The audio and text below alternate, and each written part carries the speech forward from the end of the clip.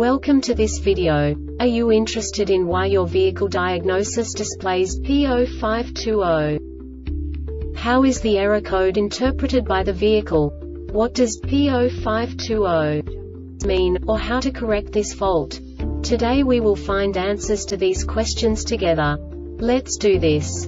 First, let's look at the history of diagnostic fault code composition according to the OBD2 protocol, which is unified for all automakers since 2000. We divide the electric system of automobile into the four basic units. Powertrain, body, chassis, network. This distribution is defined in the first character code. If the second character is expressed as zero, it is a standardized error.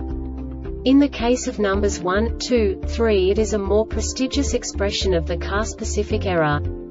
The third character specifies a subset of errors. The distribution shown is valid only for the standardized DTC code.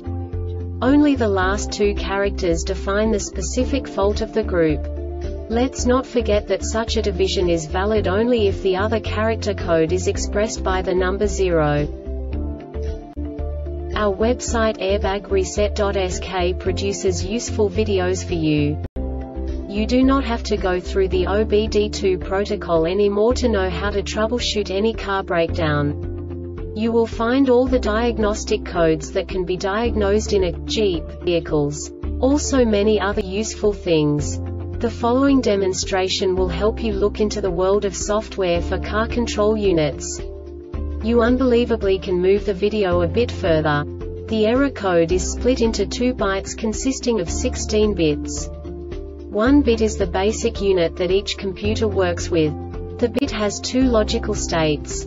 0, low level, 1, high level. By combining the first two bits, the basic character of the error code is expressed. The next two bits again determine the second character. The last beat styles of the first byte define the third character of the code. The second byte is composed of a combination of 8 bits. The first 4 bits determine the fourth character of the code. And the combination of the last 4 bits defines the fifth character. A single byte conceals 256 possible combinations. We now know in what way the diagnostic tool translates the received information into a more comprehensible format. The number itself does not make sense to us if we cannot assign information about it to what it actually expresses. So, what does the diagnostic trouble code P0520 interpret specifically Jeep car manufacturers? The basic definition is Transmitter ID 2 Operation Stop and now this is a short description of this DTC code. Tire pressure warning valve and transmitters stop transmitting signals Tire pressure warning light is on.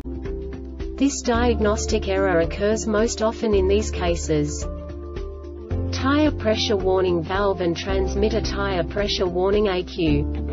The Airbag Reset website aims to provide information in 52 languages. Thank you for your attention and stay tuned for the next video.